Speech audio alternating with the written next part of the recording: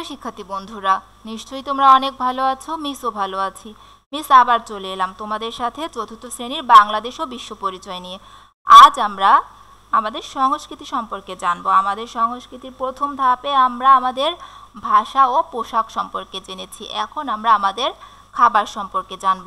তাহলে চলো আমরা আমাদের পাঠে চলে আসি। আমরা বিভিন্ন রকমের খাবারের ছবি দেখতে পাচ্ছি। যা আমাদের নিজস্ব সংস্কৃতিতে রয়েছে।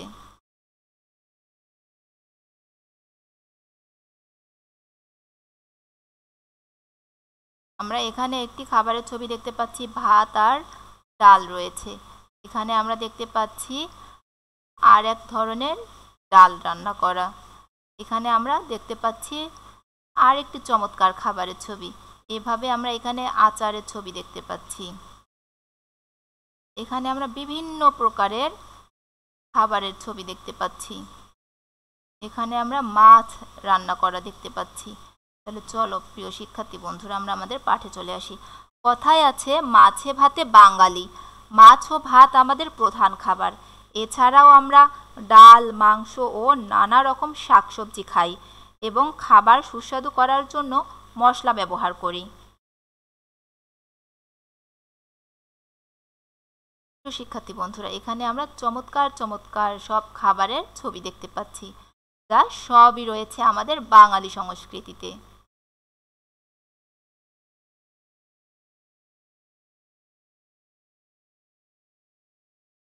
এখানে আমরা দেখতে পাচ্ছি পান্তা, ইলিশ, বিভিন্ন রকমের ভর্তা আর কাঁচামরিচ দিয়ে সাজানো একটি খাবারের থালা।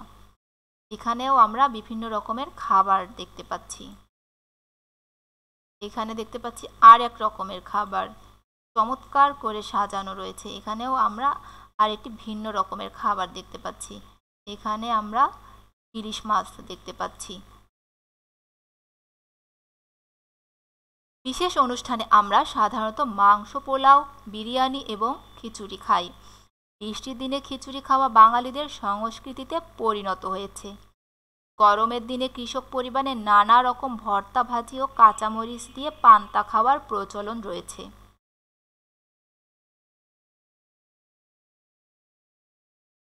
এখানে আমরা আরও বিভিন্ন রকমের মজার মজার মিষ্টি খাবারের ছবি দেখতে পাচ্ছি। বিভিন্ন রকমের মিষ্টি সেমাই পায়েস, জিলাপি, আরও কত রকমের মিষ্টি দেখতে পাচ্ছি, এগুলো আমাদের বাঙালি সংস্কৃতিতে রয়েছে। এখানে সেমাই রান্না করা দেখতে পাচ্ছি। এখানে দেখতে পাচ্ছি পায়েস। এখানে দেখতে পাচ্ছি মিষ্টি। এখানে দেখতে পাচ্ছি জিলেপি। এখানে আমরা আরও এক রকমের মিষ্টি দেখতে পাচ্ছি। আমরা উৎসব অনুষ্ঠানে মিষ্টি খেতে ভালোবাসি। আমাদের মিষ্টি খাবারগুলো সাধারণত দুধের তৈরি। যেমন দই, পায়েস, রসগোল্লা, চমচম, ক্ষীর ইত্যাদি। ঈদের দিনে সেমাই এবং সবে বরাতে হালুয়া তৈরি হয়। বিভিন্ন পূজা ও উৎসবে হিন্দুরা পায়েস, নাড়ু মা এবং মুরগি তৈরি করেন। বড়দিন উপলক্ষে খ্রিস্টানরা অনেক রকম পিঠা তৈরি করেন। তাহলে আমরা জানতে পারলাম আমাদের দেশে সব ধর্মেই বিভিন্ন রকমের খাবার আয়োজন করা হয়। প্রিয় শিক্ষার্থী বন্ধুরা, এখন আমরা একটি মজার কাজ করব। সেটি হচ্ছে আমরা আমাদের এই যে বিভিন্ন রকমের উৎসবে বিভিন্ন রকমের যে খাবারগুলো সম্পর্কে জানলাম, তো তা থেকে আমরা বলতে পারি আমাদের প্রিয় খাবার কি? বিশেষ অনুষ্ঠানে তোমরা কি খাও? তোমাদের প্রিয় মিষ্টি কী কী? আমাদের প্রিয় খাবার আমরা বলতে পারি ভাতের সাথে আমরা ডাল, মাছ, শাকসবজি ও কখনো কখনো মাংস খেয়ে থাকি, যা আমাদের প্রিয় খাবার। বিশেষ অনুষ্ঠানের খাবার। বিশেষ অনুষ্ঠানে আমরা পোলাও, মাংস, বিরিয়ানি বা খিচুড়ি, পায়েস ইত্যাদি খেয়ে থাকি।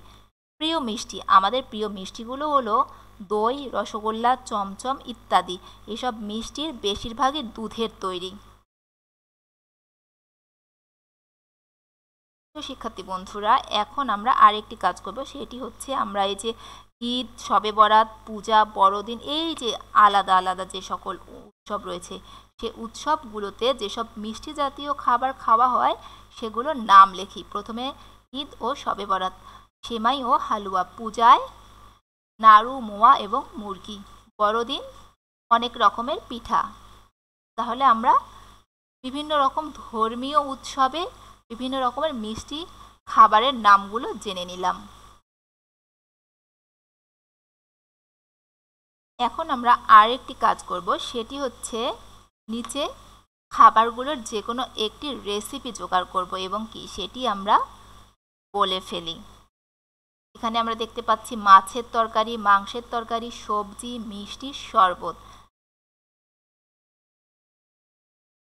আমরা এখন খাসির মাংসের রেজালা তৈরি করব। সেটির রেসিপিটা তাহলে আমরা চটপট লিখে ফেলি। প্রয়োজনীয় উপকরণ। এক, দেড় কেজি মাংস উপযুক্ত আকারে টুকরা করতে হবে। দুই, আধা কাপ সয়াবিন তেল। তিন, পেঁয়াজ কুচি, তিন টেবিল চামচ। চার, রসুন কুচি, দু চা চামচ। পাঁচ, আদা বাটা এক চা চামচ। ছয়, এক চা চামচ ধনে গুঁড়ো। সাত, আধা চা চামচ হলুদ গুঁড়ো। আট ফালি করে কাটা কাঁচামরিচ আট থেকে দশটি, নয় লবণ পরিমাণ মতো, দশ দারুচিনি ও তেজপাতা তিনটি করে, এগারো তিন থেকে চারটি এলাচ। এখন আমরা রন্ধন প্রণালী প্রণালীটি বলব। প্রথমে কাঁচা মাংসের সাথে কিছু মশলা মাখিয়ে দশ মিনিট রেখে দিতে হবে। এরপর কড়াইয়ে তেল গরম করে হালকা আছে পেঁয়াজ, রসুন ও কাঁচামরিচ বাদামি করে ভাজতে হবে। এরপর হলুদ, ধনে গুঁড়ো, আদা বাটা সহ মাখানো মাংস তেলের মধ্যে দশ মিনিট ধরে কষিয়ে নিতে হবে।